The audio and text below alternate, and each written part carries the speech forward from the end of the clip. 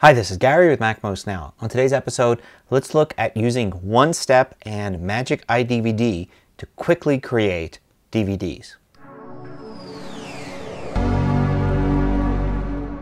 So iDVD is a great tool for creating DVDs, but there are a lot of features and a pretty steep learning curve. So if you want to create a DVD very quickly, there are two options in iDVD that you should know about. So first let's talk about one-step DVD. Now there are two different types. The one-step DVD that's a button right here is not the one we're going to use. If you go to File and you look under one-step DVD, there's two of them. This one, the first one here, will actually create a DVD by importing the video and then directly creating a DVD from that. We're going to assume we already have the video imported and we have it as a file and we just want to burn that file to a DVD. We're going to choose one step DVD from movie here. So the result is I get just a simple open dialog box and I can select a single video. So I'll select this one and click on import and what's going to happen is it'll just ask me to insert a recordable DVD and we'll burn that DVD. It'll do all the steps needed to create a DVD. So it's the quickest way to create a DVD from a single video.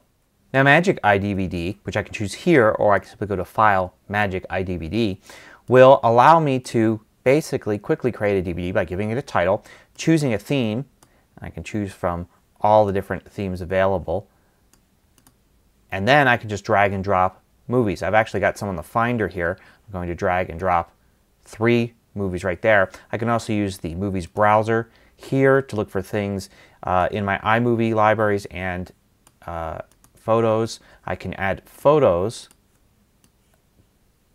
down here to create slideshows and then I can preview the project right there. I can also turn it into a regular iDVD project or I can simply burn it directly here from Magic iDVD by clicking down here. So if I were to preview it, it'll create the project first and it may take a little bit. And then I get to look at it here in the preview window. I can go to movies and slideshows. You can see it basically just threw it together as simply as it could using the file names as titles and the basic menu structure from that theme.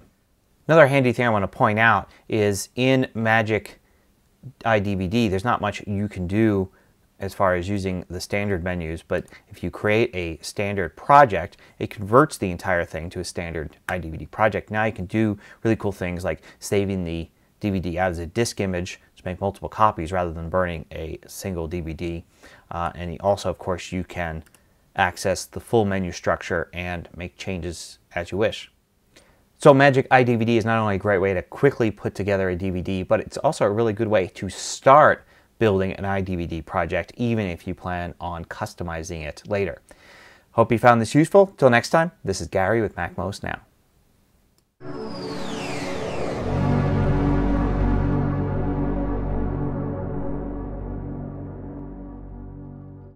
Want more video tutorials? Just go to MacMost.com, click on the videos link at the top of the page, and then you can view all of the hundreds of MacMost videos by category.